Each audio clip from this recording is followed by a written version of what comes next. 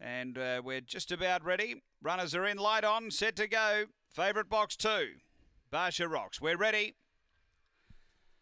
They're racing. Barsha Rock steps with them. Speed out deep. Emily Pointer's going to drive and lead.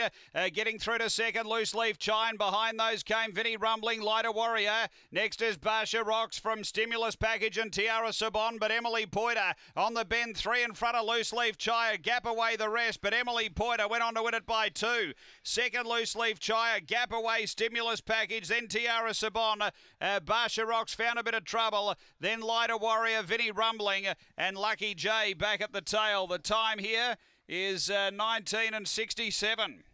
Emily Pointer getting the prize here at uh, big odds, nearly $20. Uh, number seven has been able to zip over, grab the front, and has been too good. Emily Pointer, seven, eight, five, and one. Roland Parry with the winner, number seven. Uh, second, going to eight, Loose Leaf Chai for Lester Harris. And third to five, which is Stimulus Package for Paul Fagan. It's uh, 7851 after race five here at Angle Park.